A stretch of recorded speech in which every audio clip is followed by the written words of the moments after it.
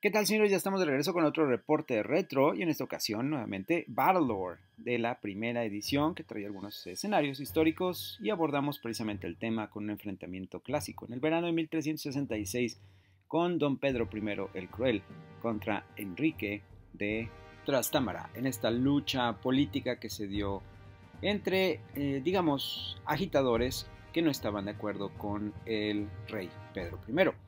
Cruel para muchos, justiciero para otros tantos, apoyado por Inglaterra, mientras que Enrique estaba siendo apoyado por los franceses, este escenario nos lleva a una confrontación entre ambos ejércitos, con la iniciativa en manos de don Pedro el Cruel, y el primero que logre eliminar seis estandartes del lado opuesto será el ganador. Tenemos ya el despliegue acomodado y por alguna razón en este escenario de Battle Lore se hace alusión de que don Pedro estaba aliado con goblins. No creo que sea algo históricamente correcto, sin embargo seguimos el escenario al pie de la letra para poder incluir goblins en este enfrentamiento de realidad simulada entre las fuerzas de Don Pedro y los goblins contra las fuerzas de Henry o Enrique de Trastámara. E iniciamos tomando nuestras tarjetas, que en este escenario son seis tarjetas para cada lado, y nosotros tenemos la iniciativa si es que aplicamos la primera maniobra activando las unidades en el flanco derecho. Cuatro de estas unidades avanzan y son goblins, de hecho, en su totalidad. La siguiente tarjeta que vamos a tomar nos dará beneficios en el flanco izquierdo. Laura ahora toma el control de las fuerzas de Enrique movilizando los flancos y haciendo sus primeros ataques, tanto con arqueros como con fuerzas de infantería contra los goblins. Los primeros en atacar son los regulares de infantería y no hacen ningún daño a los eh, goblins. A continuación, la lluvia de flechas va contra la misma escuadra y sucede lo mismo, no hay daños. Nos vamos a ir entonces al otro flanco que también tiene movilización y Laura nada más activa una escuadra de su infantería ligera que maniobra por un costado de la caballería nada más para proteger ese flanco y ser la unidad eh, que esté más expuesta. A continuación activamos nosotros y movemos muchas unidades en el flanco izquierdo, hasta 6 unidades podemos mover y en cierta forma nada más movemos 4 grupos, 5 grupos me parece, sí, todos en una gran masa de fuerza. Pretendemos intimidar a las fuerzas enemigas, además tenemos más tarjetas de este flanco, así es que podemos darnos el lujo de gastar eso para movilizar toda la fuerza y sin tener que esperarlos a que avancen. Tomamos nueva tarjeta y nuevamente es un beneficio en ese mismo flanco. Tenemos ese lado bastante fuerte en este caso. Y Laura hace un ataque pero por el flanco opuesto. Eh, decide utilizar sus arqueros para que disparen contra mis goblins, tirando dos dados, finalmente impactando con un éxito y además una bandera negra que obliga a mis fuerzas a replegarse. Al no tener a dónde replegarse, lamentablemente van a tener que sufrir una baja adicional.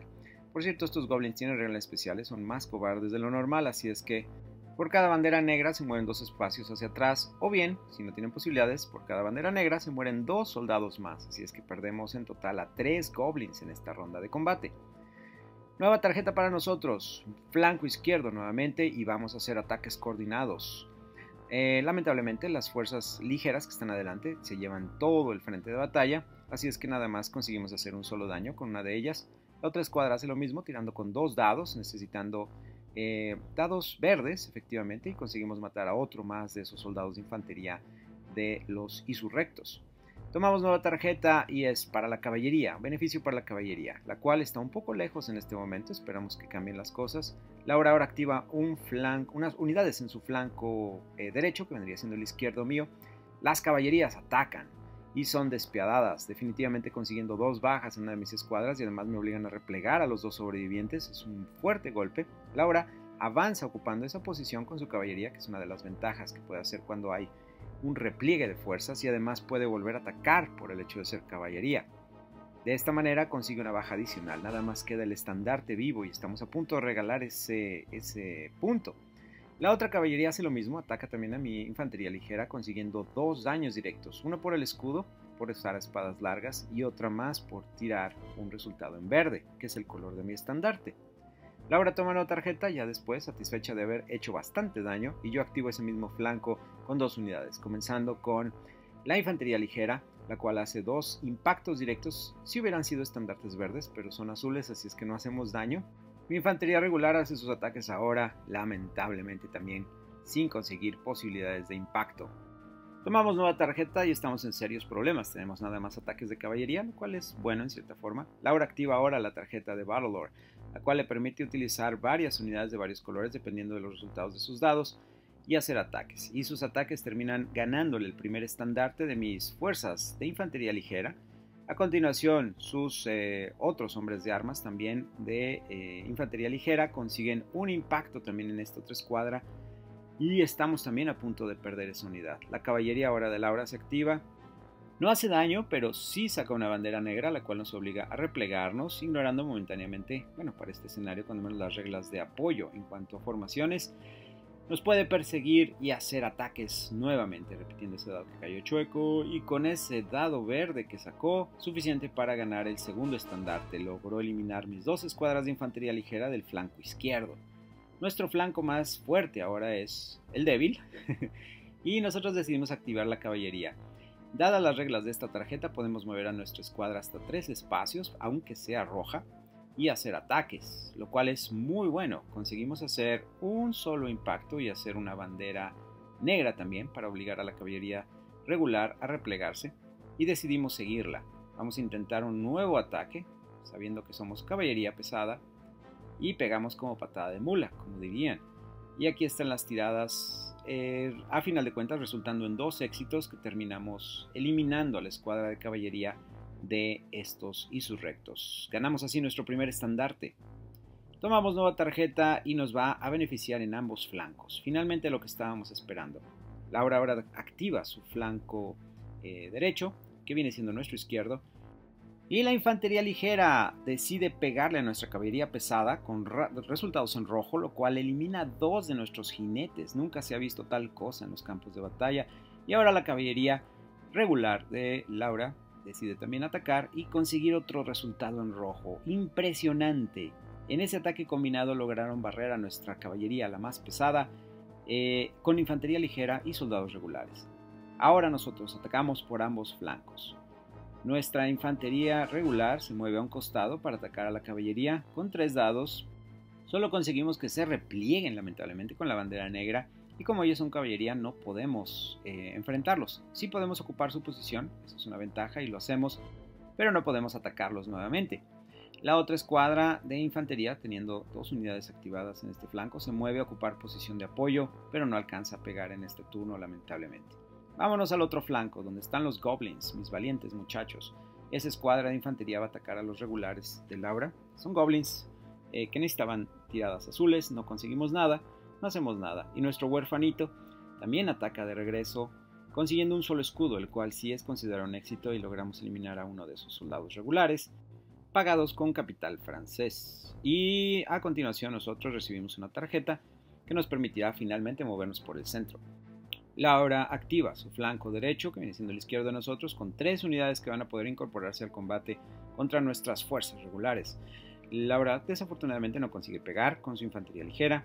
Continuación la caballería intenta lo mismo, necesitando azules y consigue un azul, por lo tanto va a eliminar a una de nuestras fuerzas. Aunque tenemos dos unidades de ese lado, estamos en serios problemas porque no tenemos con qué activarlos.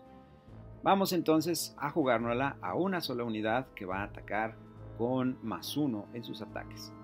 Lamentablemente los cuatro dados salen caras verdes y rojas, pero nada más. Hubiera sido excelente si la escuadra hubiera sido veterana y se termina nuestra activación. Ganamos finalmente una tarjeta que nos pueda servir también atacando una unidad en cada uno de los flancos. Laura activa una unidad en su flanco derecho, lo cual es el izquierdo para nosotros, y decide utilizar ese para activar la caballería, la cual nos obliga a replegarnos y además sufrimos eh, dos bajas Así es que el estandarte sobreviviente va en replegada, la caballería avanza y va a intentar nuevamente barrernos del mapa con un ataque en esta carga especial, consiguiendo exitosamente eliminar al último estandarte. Y esto lleva a Laura a 4 puntos de victoria. Contrario a lo que se manifestó históricamente, eh, las fuerzas de Don Pedro están en serios problemas. Nosotros activamos ahora nuevamente misma tarjeta porque teníamos dos de ellas. Esta escuadra de infantería se mueve adelante y va a poder hacer ataques con un dado adicional, consiguiendo finalmente dos éxitos y obligamos al estandarte sobreviviente a replegarse. Esto está bastante bien porque decidimos seguirlo, aunque no podremos hacer ataques de combate, pues no somos caballería. Nuevamente el turno pasa a manos de los seguidores de Enrique, mientras nosotros tomamos una nueva tarjeta que permitirá que usemos arqueros, lo cual es contradictorio porque no tenemos más que una sola escuadra de arqueros. Laura ahora activa por el flanco eh, izquierdo de ella, derecho mío. Pierdo a dos de esos goblins, sobreviven dos todavía protegiendo el estandarte. A continuación Laura activa el centro con una escuadra y son flechas las que llueven sobre mis hombres. Lamentablemente no consiguen impactar. Y del otro lado también nuevamente una unidad activada. Laura consigue un solo impacto, el cual va a matar a uno de mis guerreros regulares que están todavía sosteniendo ese frente. Con eso termina su activación y yo decido utilizar la misma tarjeta que ya utilizó con una unidad de cada uno de los frentes. Comenzando en el flanco izquierdo, mis guerreros van a tratar de pegarle a la caballería. Y no conseguimos hacerles nada. Lamentablemente al ser caballería los escudos no aplican a los ataques de mis armas. En el centro, decido utilizar la caballería de los goblins, la cual se mueve bastante. No alcanza a llegar en combate en este turno, pero los dejo justo a la mitad para poderlos activar. Y en el otro flanco también activo a la caballería de los goblins, que estaba en reserva. Con eso tomamos una nueva tarjeta que nos permitirá mover tres unidades del centro y eso es bastante bueno en el siguiente turno. Laura decide ahora activar sus unidades en el flanco izquierdo, que vendría siendo, bueno, mío, y, este, y pierdo a uno de mis guerreros. También aquellos soldados atacan y pierdo a dos más y con eso entrego el estandarte de mi única unidad que estaba protegiendo ese frente. Laura se va a 5 puntos de victoria y termina moviendo a su caballería para tratar de llevarla al centro, donde verán seguramente más acción de lo que ya podrían ver actualmente acá. Haciendo un conteo de puntajes, 5, más aparte un goblin huerfanito que habíamos retirado injustamente de la mesa y eh, al haber sido vencido le da 6 puntos de victoria a Laura, lo cual lleva al desenlace de este escenario en el que las fuerzas de Enrique o Henry de Tastámara obligan a el rey Pedro I a replegarse del campo de batalla, cosa que nunca ocurrió históricamente, pero una gran victoria para la resistencia apoyada por Francia de Enrique de Tastámara. Gracias por acompañarnos, vemos en la siguiente batalla.